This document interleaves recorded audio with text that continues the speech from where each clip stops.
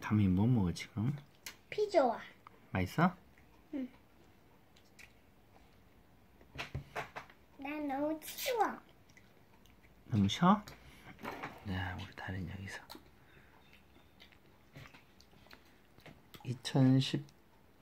2018년 4월 27일 아침밥 먹고 간식 먹는 시간이고 강아지들 피조아 먹고 있습니다. 우 쉬어. 다민아 쉬어 안 쉬어?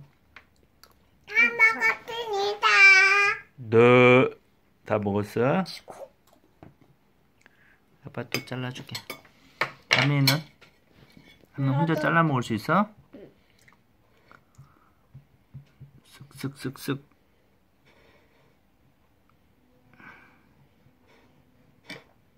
난 아니 안또 안줄 거예요. 피조아? 피조아 줄게. 하나도 없어. 아기 칼은 내릴 수 없어.